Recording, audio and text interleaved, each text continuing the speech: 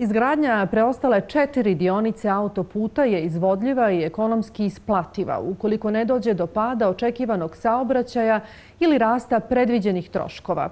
To je navedeno u studiji opravdanosti autoputa Bar Boljare koja je predstavljena u utorak. Studija je finansirana kroz program investicijonog okvira za Zapadni Balkan i Evropske banke za obnovu i razvoj. Šta sve može dovesti autoput u zonu neisplativosti? Ima li država novac za nastavak izgradnje? Hoće li biti moguće smanjiti na minimum negativne uticaje na životnu sredinu? I imamo li konačno od autoputa više štete ili koristi? Ines Mrdović, akcija za socijalnu pravdu i Goran Kapor, novinar nezavisnog dnevnika Vijesti. U nastavku su moji sagovornici. Dobro jutro i dobrodošli. Dobro jutro, hvala. Autori studije su naveli da za procjenu izvodljivosti nijesu uzimali u obzir postojeću dionicu jer je bila u izgradnji kada su oni počeli izradu studije 2019. godine. Zbog toga se nisu bavili njenom isplativošću, već samo preostalih dionica. Kao presjek uzeli su 2057. godinu kada će autoput biti isplativ. Oni u toj godini očekuju da će najveći dnevni prolazak autoputem biti po e, dionicama od 17.000 do 37.000 vozila dnevno. Kakav je vaš utisak? Je li ova procjena realna i jeste li saglasni sa evropskim stručnjacima? E, pa mi vidimo da su oni e, e, objavili taj finansijski podatak da preostale četiri dionice treba da koštaju 1,3 milijarde eura. Međutim, očigledno se radi samo o, da kažem, izvođačkim radovima, dakle ono što su građevinski radovi. Mi ne znamo u ovom času, makar mediji nijesu prenijeli, koja je godine uzeta kao referentna u smislu tih troškova koji su prikazani. Dakle, nije isto ako je to urađeno prije godinu dana i nije isto ako je to sada uh, urađen presjek, zato što svi znamo da je došlo do tog skoka cijena. Uh, ono što je eh, bitno jeste dakle da to je e, e, trošak koji je e, zasnovan na bazi studije, odnosno to je faza idejnog projekta. E, nije isto idejni projekat i nije isto glavni projekat. E, mi smo na e, nedavnoj prezentaciji jedne od tih e, deonica postavili pitanje te e, vrste koliko može biti razlika i nama je tada rečeno da razlika između tog idejnog i glavnog projekta može biti u troškovima 20%. Dakle, ako pričamo o cijeni od 1,3 milijarde, 20% je nekih e, 260 miliona eura. Pored toga, to je cijena bez PDV-a. Dakle, država se ponovo odriče od PDV-a. Ako bismo uzeli sadašnji procenat od 21 odsu, to je novih nepunih 300 miliona eura koje ulaze tu ukupnu strukturu investicije. A gdje su svi drugi povezani troškovi? Nama je tad rečeno da za tu dionicu kalkulacija nije računala struju vodu. Dakle, vi imate dodatno trošak i struje i vode uz te preostale dionice. Kakve su vaše procjene? Koliko mogu biti zapravo veći troškovi? Pa ako ga budu, da se malo našalim, ali u svakoj šali poprilično istina, ako ga budu gradila braća po materi, odnosno braća po džepu, onda će taj trošak biti ne duplo veći nego i mnogo viši ali negdje e, e, za nekih milijardu ili milijardu i više sigurno će biti veći. Zašto? Zato što imate čitav niz povezanih troškova. Gdje su vam komisije koje će to da da e, kontrolišu? Gdje vam je inženjer? Za preostale četiri dionice. Mi svi znamo da je do sada za ovu dionicu inženjer koštao nekih, ja mislim, 30 ili 35 miliona eura. A komisije koje će da nadzorišu što projekte, projektne stvari, što izvođenje samih radova. Gdje vam je trošak Monte Puta? Gdje vam je trošak Ministarstva kapitalnih investicija mhm. koje je također uključeno u sve to? Gdje vam je trošak, već sam rekla, put, voda, gdje je trošak e, e, kamena, recimo, kog se, e, eksploatacije kamena, kog se država tokom ove prve faze koncesije odrekla. A onda je, naravno, svaka deponija, svaka betonjerka koja treba da se sagradi, što su sve propratni radovi, to vam zahtjeva ili da kroz trošak ekspropriacije dođete do tog zemljišta ili da uzmete to u zakup. To su sve milionske svote. A samo ću potencirati da je ova dionica bila 41 e, km, a da je preostalo da se kompletan taj autoput, on bi trebao da bude, evo, Goran će mi ispraviti ako griješim, nekih 160 km. Dakle, mi smo faktički... 80. E, evo, 180, znači sa tim mhm. vjerovatno obilazicama. Znači, mi smo faktički do sada sagradili koliko to dođe četvrtinu, nismo ni četvrtinu. Pozvali smo i predstavnike Ministarstva kapitalnih investicija. Stigao nam je odgovor i e, istakli su da je saopšteno da je 4. oktobra održana prezentacija rezultata studije za koju formalno nisu okončane sve potrebne procedure, a po čijem okončanju će studija biti i javno objavljena. U ovom trenutku, kažu, do formalnog okončanja ministarstvo ne može komentarisati rezultate studije bez potrebnih saglasnosti od strane donatora. Osim toga, poziv za prisustvo prezentaciji odnosio se i na nevladin sektor, pa se prekjuče moglo neposredno su se mogli obratiti i obrađivaču studije koji je na njenoj pripremi angažovan prioritetno na osnovu referentnosti i po procedurama donatora na koje ministarstvo nema uticaja.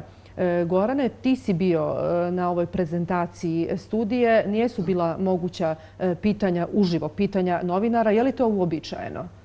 Pa, tačno nisu bila ovaj, moguća pitanja. Nama je obrazloženo da e, to još uvijek nije gotovo i da treba ovaj saglasnost, odnosno da možemo poslati pisana pitanja mailom, pa će oni naći, odnosno tražiti saglasnost da li mogu da odgovore na ta pitanja.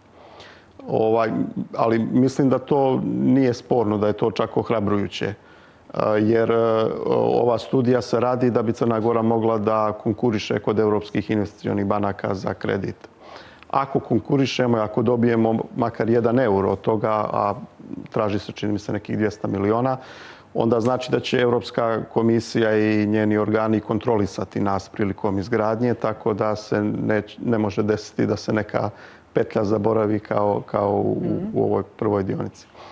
Ovaj, također, ovaj, e, oni nisu računali prvu, prvu dionicu jer je jasno da bi sa njom e, kompletan put bio, bio neisplativ i zbog, zbog toga je vjerojatno vlada i gradila prvu dionicu na ovakav način on, ovaj, bez, e, bez i javnih tendera, odnosno sa direktnim dogovaranjem i bez bilo kakvih ozbiljnih kontrola finansijskih. Šta bi sve e, autoput e, moglo da dovede u zonu neisplativosti?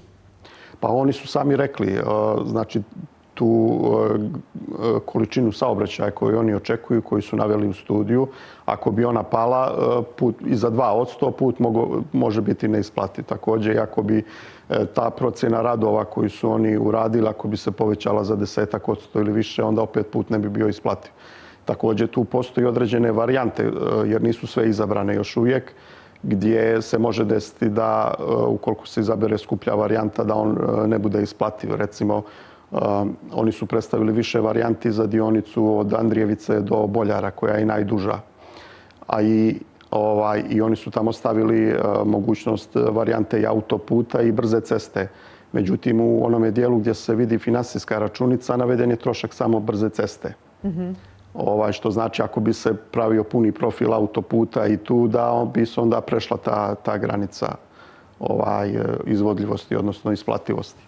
Koliko država Crna Gora može dobiti novce iz EU fondova? Kakva je evropska praksa? Pa u Hrvatskoj smo vidjeli čak e, negdje, čini mi se, pominjalo se i oko 50 do 60 odsto ovaj, e, novca je Hrvatska dobila u, ili u vidu grantova ili u vidu povoljnih kredita za, gradnje, za gradnju svojih autoputeva. Mm Tako da je to, to moguće dobiti. Mislim, Crna Gora je već dobila ovaj dio bespovratnog novca za izrade ovih projekata i studija raznih. Ovaj, I sad, sad se očekuje tih 200 miliona povoljnog eh, kredita za, za ovu narednu dionicu. I pa... dobro je, mislim, zbog toga i kasniji, da kažem, jer se mora ovaj, svi papiri dokumentacija završiti po pravilima koje nalaže Evropska unija. Zbog toga ovaj, konkurs za izvođača možemo očekivati tek za godinu ili godinu i pol. E, kod postojeće dionice Podgorica-Mateševo e, bio je problem što su troškovi izgradnje naknadno porasli za još e, 100 miliona eura, je li tako? Dok je izgradnja umjesto četiri trajala sedam e, godina i dva mjeseca. Također nijesu riješeni sporovi između izvođača CRBC-a koji traži dodatna plaćanja. Vi ste nedavno ukazali na to da bi tužilaštvo istragom o izgradnji autoputa Smokovac-Mateševo trebalo da obuhvati valutne transakcije, te da je fiksiranje vrijednosti dolara i eura za izvedene radove uticalo na ukupnu cijenu posla. Šta je do sada sve poznato? Da li je i šta od tih odštetnih zahtjeva povučeno ili zatvoreno ili da li su stigla neka nova potraživanja? Pa, e, malo toga je u ovom času poznato. E, e, mi imamo manjinsku vladu koja nijednom nije izašla sa informacijom te vrste. E, mi smo nedavno objavili tu taj podatak da je do početka ove godine, dakle, već smo pri kraju ove godine, vrijednost tih odštetnih e, zahtjeva e, kineske CRBC bila nekih reda veličine 190 miliona eura. Šta je umeđu vremenu povučeno, šta je umeđu vremenu zatvoreno, kakvi su dogovori napravljeni, to je nešto što kompletna crnogorska javnost apsolutno ne zna, niti se vlada trudi da to saopšti. E, ono što je možda lekcija ove prve dionice, e, nažalost, jako loša lekcija za e, sve nas, porezke obveznike u ovoj zemlji, jer je to značajno povećalo vrijednost ukupnog posla, jeste to što se u čitav posao ušlo na bazi idejnog projekta. Dakle, vi ste kineskoj CRBC dali mogućnost da ona na bazi idejnog projekta gradi, odnosno uradi prvo glavni projekat i izvede radove. Veliko je pitanje šta je u tom idejnom projektu Eh, bilo do kraja istraženo, odnosno nije istraženo. Čitav niz nekih dokumenta koji postoji, znate, radi se o o maltene tonama tih razno raznih podataka. Oni zapravo pokazuju da su kinezi u velikom broju slučajeva tvrdili da geološko stanje terena nije bilo tako kako je bilo opisano u idejnom projektu i da su oni na e, licu mjesta morali da mijenjaju mnoge stvari. Sa druge strane imali smo konsultanta e, koji je kontrolisao e, sve radove, odnosno francusko-italijanski konzorcijum koji je dosta toga osporavao, ali dosta toga je i prihvatio. U svakom slučaju sama činjenica da je nešto što je trebalo da se završi za četiri godine, trajalo sedam godina, pokazuje istovremeno da su su ti prateći troškovi rasli. Znači, vi ste prvobitno projektovali primjera radi konsultanta da platite četiri godine, vi ste ga morali platiti sedam godine. Ili dvije komisije koje su naše i koje su mhm. kontrolisale sve, umjesto četiri dobile su novac za sedam godina i tako dalje i tome slično.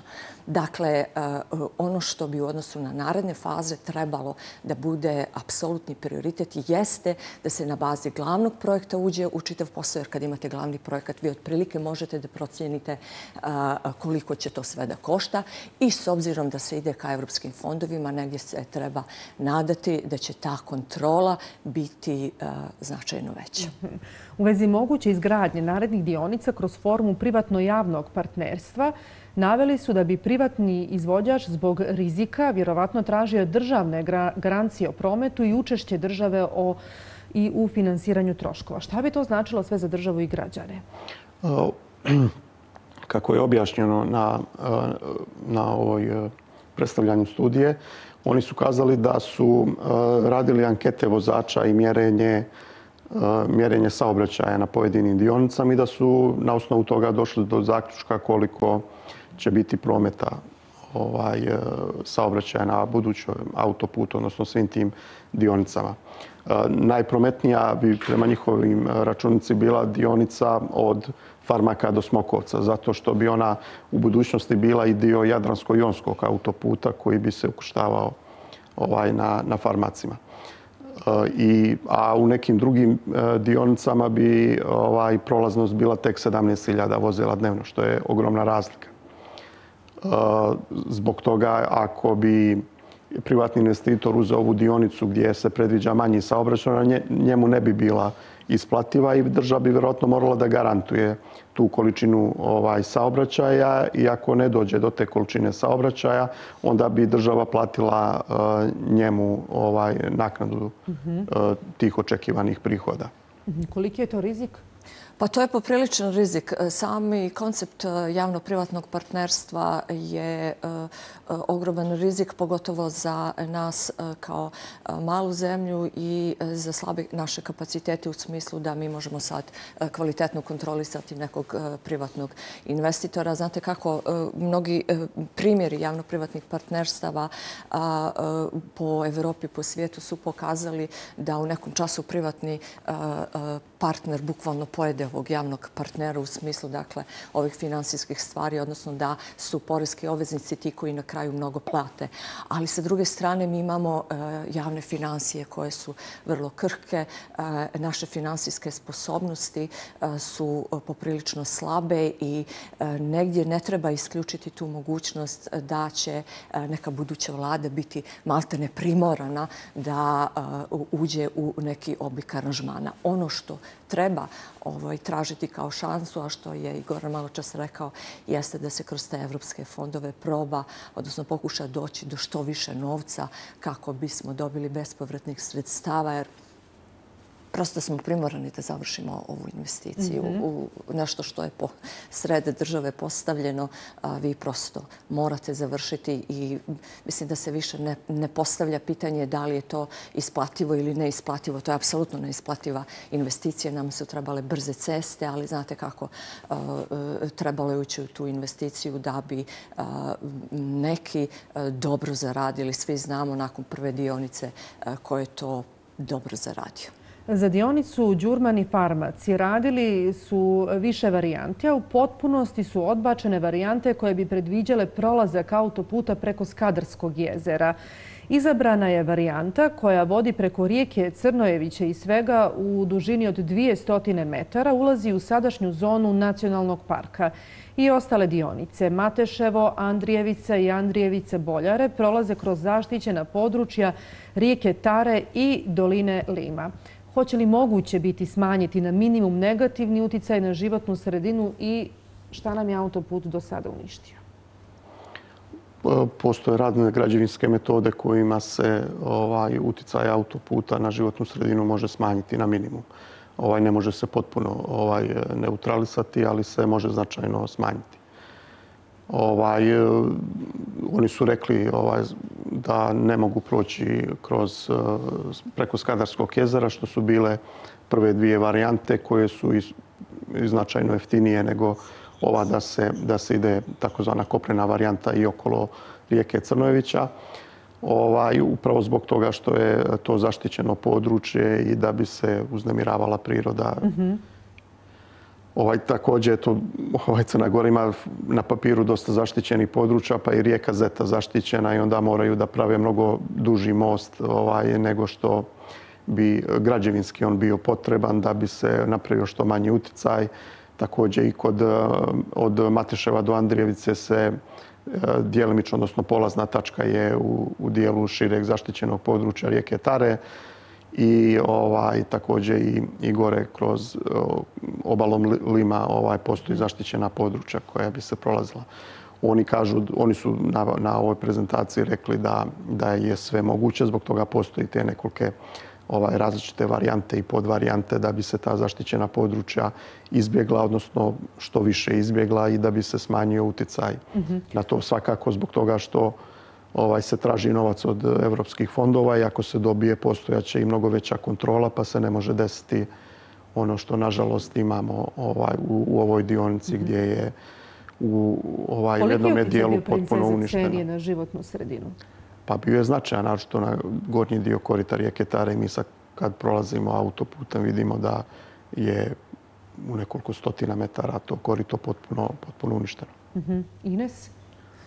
Pa u svakom slučaju dobro da se izbjegnu sva zaštićena područja, pa ukoliko to treba više da košta, ja sam negdje pristalica toga da i treba više platiti nego uništiti e, ta e, jako vrijedna prirodna područja. Prosto mi smo jako mala zemlja, nemamo mi mnogo resursa. E, to malo prostora što imamo, mi prosto ga moramo sačuvati. Ne završava se sve poslije nas, nego prosto i buduće generacije treba nešto, nešto da uh, dobiju.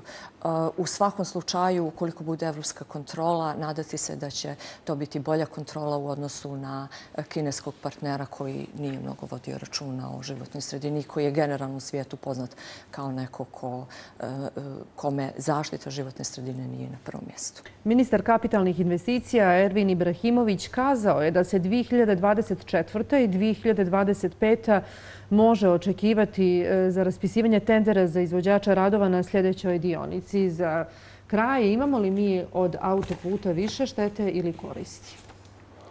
Pa svakako, svakako je korist. Mi sada ovaj, vidimo da e, da kažemo starim putem kroz Platije Podgorica Kolašno skoro da niko ne prolazi, svi idu autoputem, iako to vremenski nije značajno skraćenje od možda pola sata, a plaća se 3,5 eura. Ovaj, tako da sigurno, sigurno ima više, više koristi ovaj, s tim što to treba pametnije raditi. Nažalost, mi smo u prošlosti trošili novac na, na razne gluposti bez ikakvog opravdanja, bez ikakve ovaj, potrebe koliko je novca samo bačeno u kombinat aluminijuma, željezaru i neke slične projekte i plaćanje raznih državnih garancija na, na gluposti moglo se do sad napraviti još najmanje dvije dionice. Podsjetio bi recimo Bosna i Hercegovina ima završenih oko 150 km autoputa, njen javni dug je, je ispod 50 A još ima u raznim fazama gradnje oko 50 km ovaj autoputa. Ovaj, tako da, a isto imaju slične ovaj teške dionice i kanjon Neretve je sličan kao kanjon Morače i nisu bosanske planine ovaj ništa ovaj manje nego nego naš ovaj tako da ovaj uz uz pametnije trošenje državnog novca davno smo mogli da završimo ovaj projekat. Takođe ovaj što je ranije bila varijanta da eh, se ne gradi uopšte autoput, već da se gradi eh, brza cesta, to bi značilo eh, da imate dvije komotne trake i treću na svakom usponu i da nema ukrštanja sa lokalnim putevima, već samo sa magistralnim putevima. I to ne u nivou, već sa, sa silazima i petljama, što znači da je to tek e, nešto manji rang od autoputa, a prema onim ranijim procjenama e, kompletna dionica da je bila brza cesta bi koštala tek nešto veće od milijarde, a mi smo samo u ovu prvu dionicu potrošili ovaj, skoro toliko novca. Mhm. Ines, e, šta vi mislite? Imamo li više štete ili koristi? Pa, e, generalno posmatrano, znači, e, za svaku državu dobro je da ima autoput. Sad je samo pitanje finansijske sposobnosti te države, e, da li može da e, e, izgura tu investiciju i koliko će budući generacija da zaduži zbog jedne takve investicije. Ja sam pristalica onih koji smatraju da, je, da su brze ceste ovoj zemlji mogle da donesu mnogo mnogo više e, boljitka, ali oni su ušli u ovaj projekat autoputi. Kao što već rekoh, on se prosto mora, mora završiti, e, pa vidjet će neke buduće generacije koliko je to e, koštalo. Bojim se samo da u nekom času kada počne naplata svega toga, da će onda u javnosti biti dosta priča. Znate, nije to samo pitanje napraviti autoput, nego pitanje i troškova njegovog održavanja. A sad, opet kažem, svaka zemlja E, svakako da mm, se negdje e, kotira kao e, vrlo poželjna mhm. za investicije e, ukoliko ima tu, da kažem, razrađenu saobraćajnu infrastrukturu. Sad, eto, pogledajte, e, kilometar autoputa na prvoj dionice Maltene dostigao iznos od nekih 30 do 35 miliona eura, a sa druge strane mi smo zemlja u kojoj, evo sad je minimalna penzija 250 eura, nemate ni domove za stare, nemate ni dovoljno bolnica, ni vrtića, ni nemate ni domova za, odnosno dnevnih centara centara za djecu sa posebnim potrebama. Znači, sve je stvar, najde kažem, nekih, nekih prioriteta i onoga koliko je dara mjera. Hvala najljepša na izdvojenom vremenu i na komentarisanju. Vidimo se ponovo i pričat ćemo još na ovu temu. Hvala također.